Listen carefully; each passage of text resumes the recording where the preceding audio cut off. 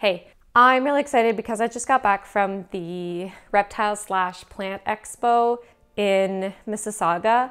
Uh, I think it's November 26th today, and I don't know how long it'll take me to actually edit this video, so you'll probably be watching it later, but they do have this expo multiple times a year, so if you want to go, I will like leave a link to check out the website. I've always been into reptiles and amphibians and stuff. So I love going to these expos and just recently they've added on the plant expo portions. So there's even more options when it comes to like plants and stuff. So it's like all my favorite things in one place and it's just like one of my favorite things to go to.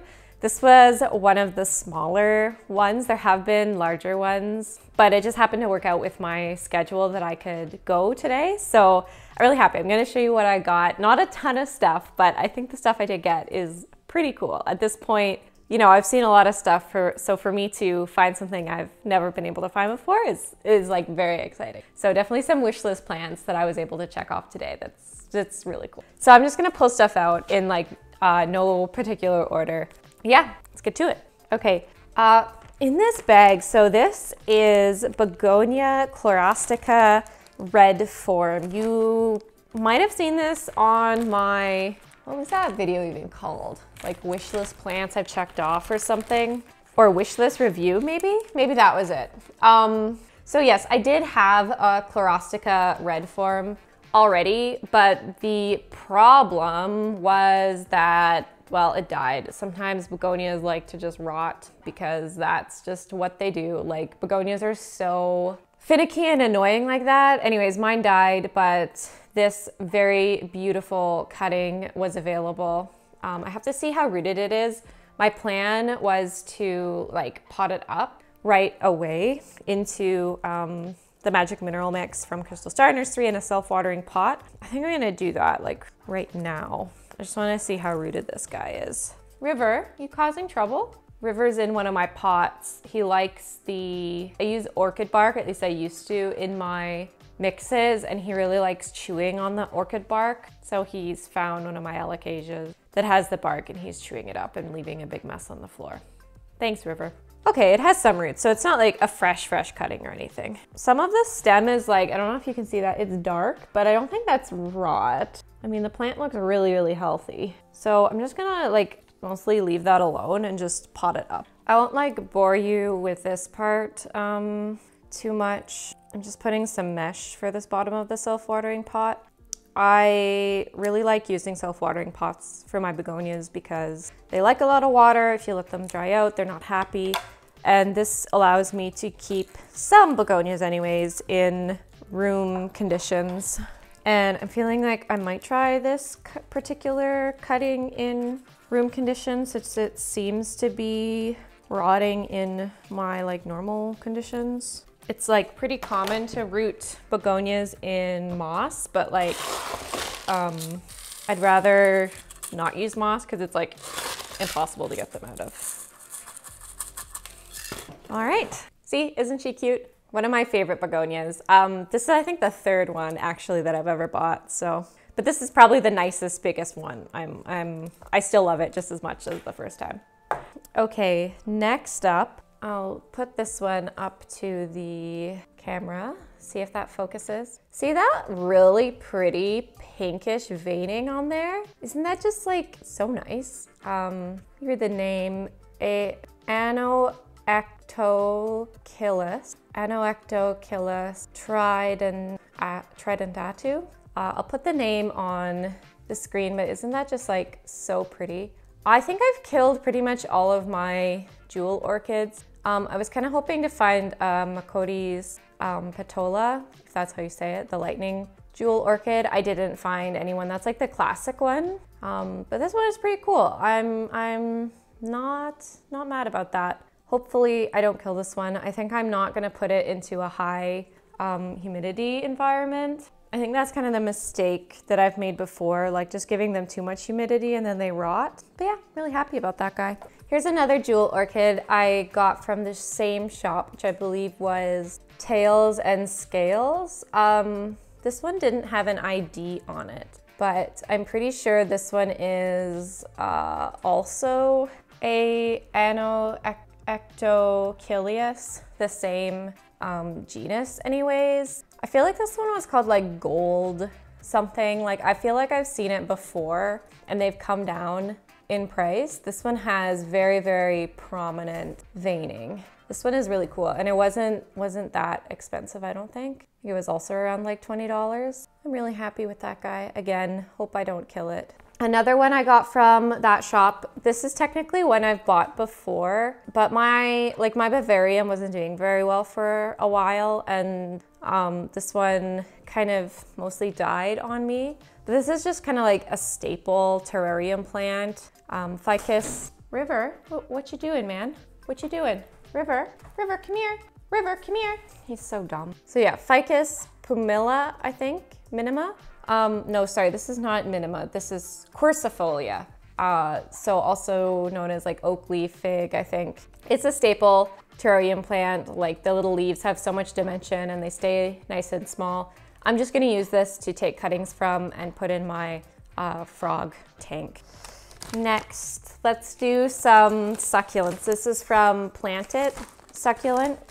Uh, one of my favorite places to get conophytums. So, oh, this one got a little bit smushed. That's my fault because of how I was transporting it around. But this is a really cool, kind of like a caudic plant. I actually have no idea what the ID is. I'm gonna have to message her and uh, and see, but it's got like these really cool fuzzy leaves, if it'll focus. This one is kind of on the side is broken just because it's probably been rolling around in the car. It's a very just interesting succulent. I obviously I don't know what it is, but I think it would just look like so cool in a really like rustic looking pot. But I kind of like those fuzzy, fuzzy little leaves. Um, I think I'm gonna pot this one up right away too, just because I have a few pots and she generally sells her stuff like bare root anyways, so they usually, they usually do need to be planted up. See, isn't that cute? Stay tuned for updates on that one. I'll probably move it to a different pot eventually, but this is just the only one I have that's like kind of the right size, so stay tuned. Um, I also got from her, they kind of spilled, um, but I got a couple, these are, um, I, am gonna have to hold them up so you can actually see them. These are Conophytum um, burgeri. They very much just look like gumdrops, which I like absolutely love. I had some, but then I ended up killing them in an attempt to get rid of mealybugs, which I'm, you know, not uh, super proud of, but that happens sometimes. I'm gonna pot these guys up too. I have just like this little teeny tiny pot. I forget what I had there in there before. See, look how cute they are. They're not like super secure in the pot um, right at this moment because they're not rooted, but in a little while they'll they'll root just fine. And I am using the Mineral Magic mix for from Crystal Star Nursery for these as well. Like I find it works really well for succulents. It doesn't have perlite in it, so it doesn't like look, you know, super ugly. That's the problem with succulents when you have like a high concentration of perlite in your mix. It's just, it ends up looking really bad on top, but this looks okay even if you don't put a top dressing on it. So hopefully these guys will root and do okay.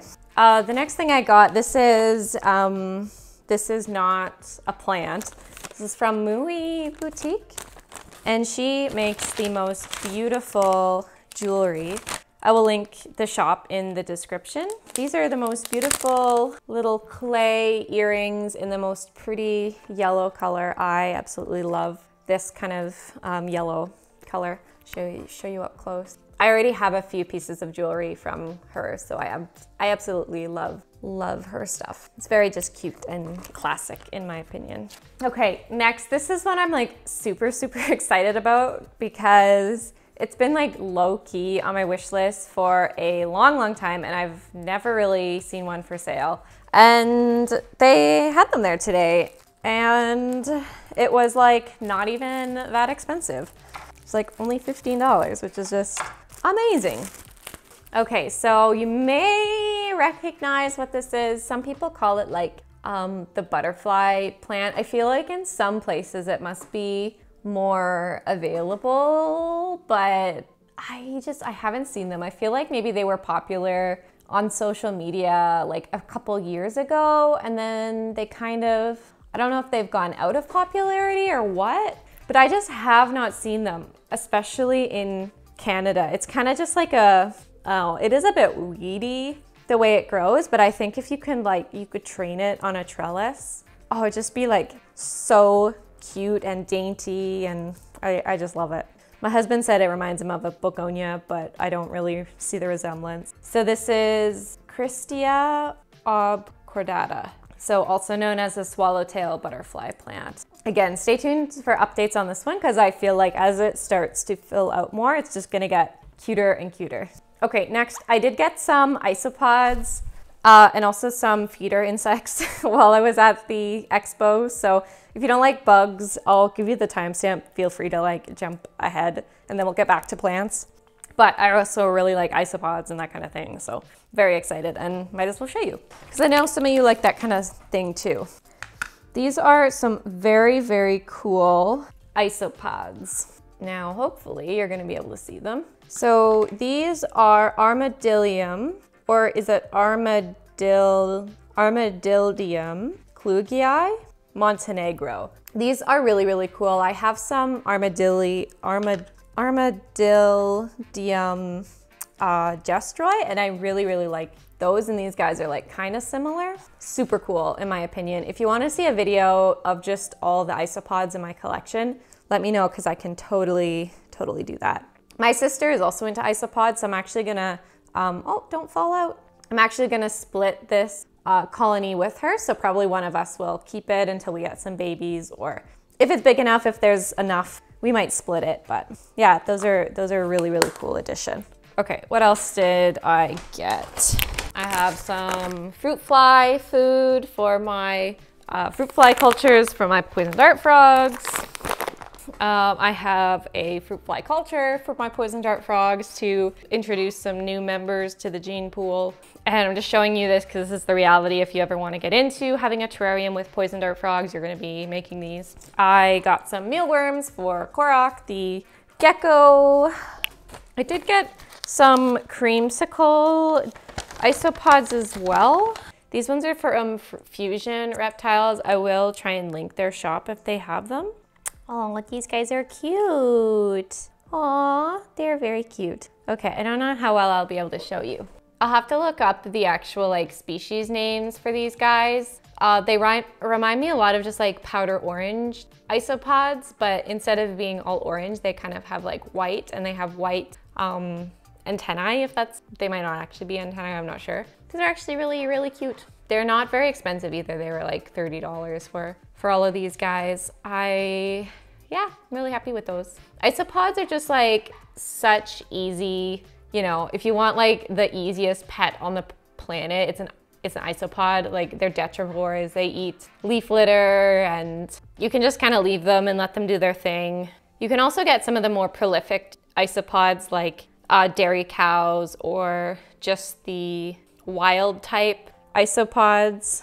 Oh, come back that are less expensive for being like a cleanup crew in a bioactive terrarium or something like that. Um, but I do actually keep these guys as, as pets because they're cool. It's cool to watch them breed and do all that stuff. Anyways, I think, I think, I think it's cool.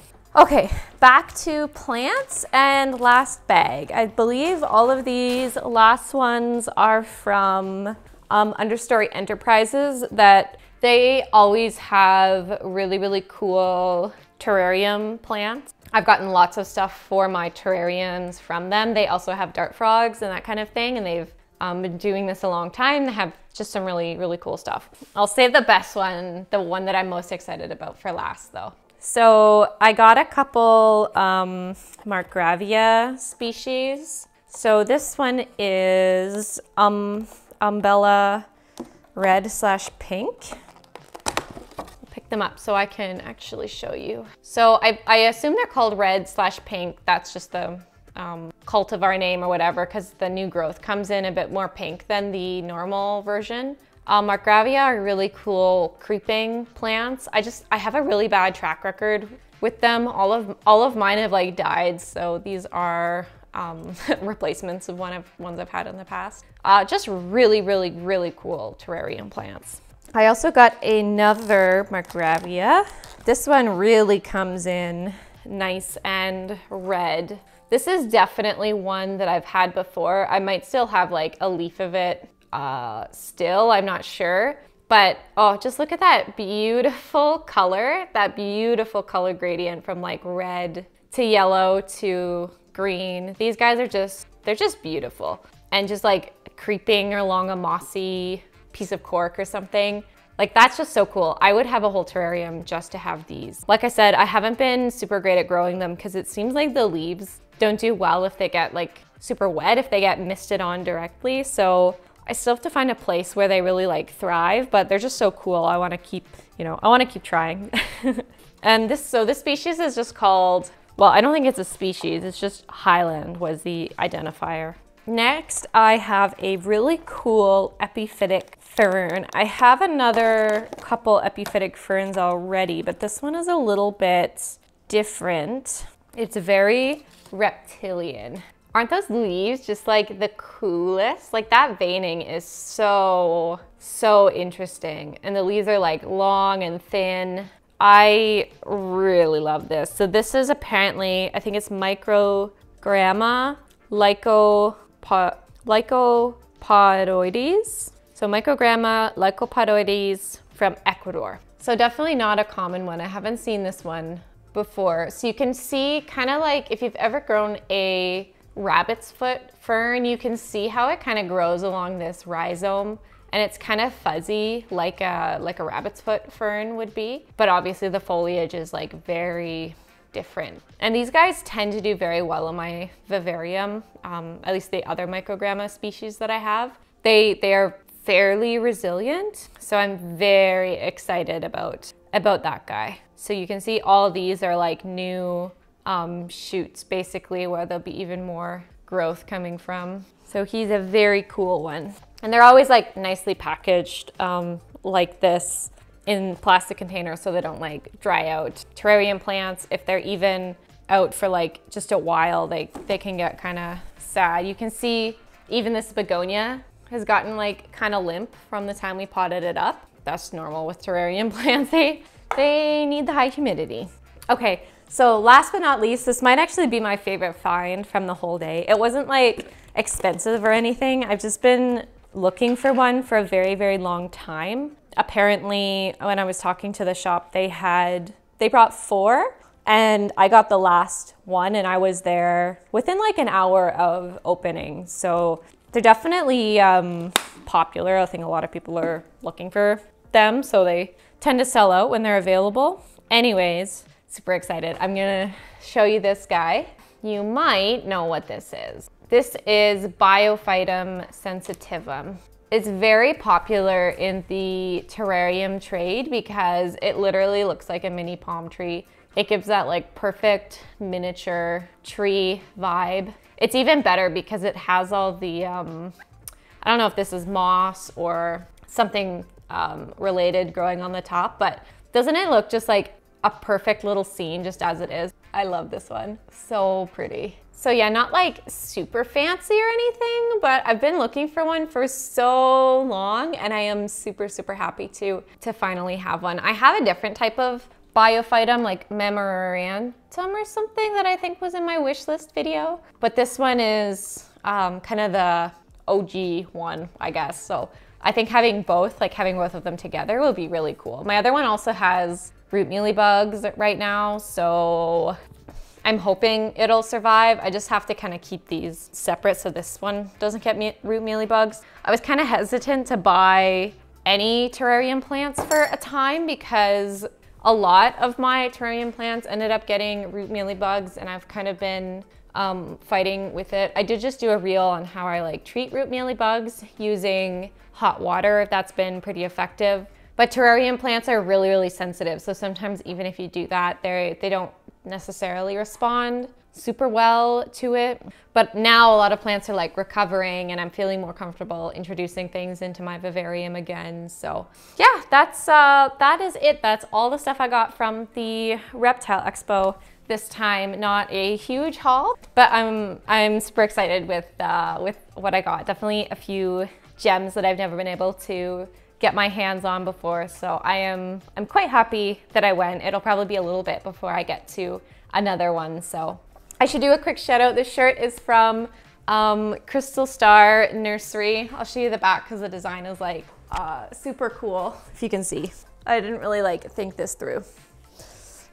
Um, they were also there at the expo. I didn't end up getting anything this time because I'm on their online shop constantly.